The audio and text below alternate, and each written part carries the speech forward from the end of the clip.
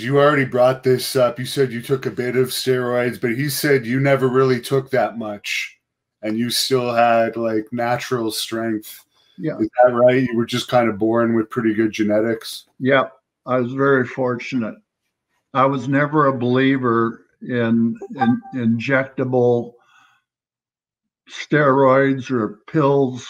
I, I, I just couldn't force myself to get on a, a regimen, you know, on a daily routine of uh, steroids. So, you know, I'd take steroids like um, twice a week, and then I'd forget to take them for the next week or two.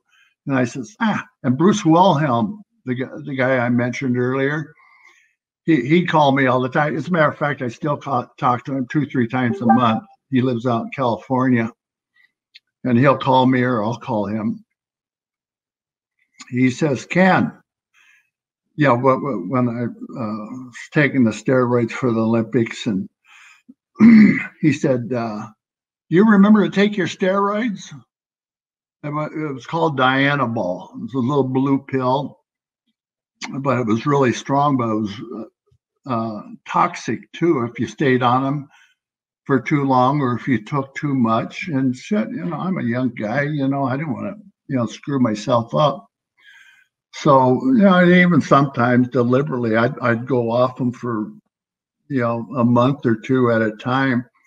And I went on cycles. I, I had three cycles every year for six weeks.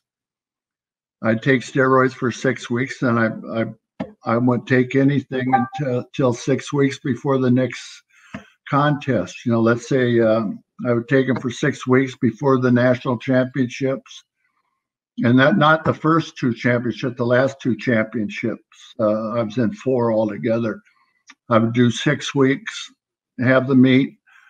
Then I wouldn't take anything until the next contest might be the World Weightlifting Championships. And then I'd take six weeks again. And then uh, let's say in the spring, I'd have a regional meet and I'd do six week cycle again. Everybody else in that weightlifting team just stayed on the steroids 24 7.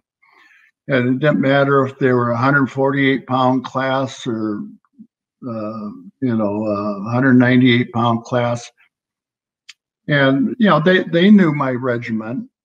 And they said, but Terry, God, you could be lifting so much more if you just you know do what we do i mean we had 148 pound guys military pressing uh, you know 360 370 you know i mean that's back in those days that was ridiculous. I mean they do it now.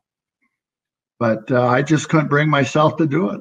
Thank you for watching the hannibal tv Please like this video if you enjoyed it and click the subscribe button to not miss any of our latest shoot interviews, match videos, or news updates. Support us on patreon.com for $1.99 a month to watch our full shoot interviews ad free and help our channel grow. Follow us on Twitter at the Hannibal TV for instant updates.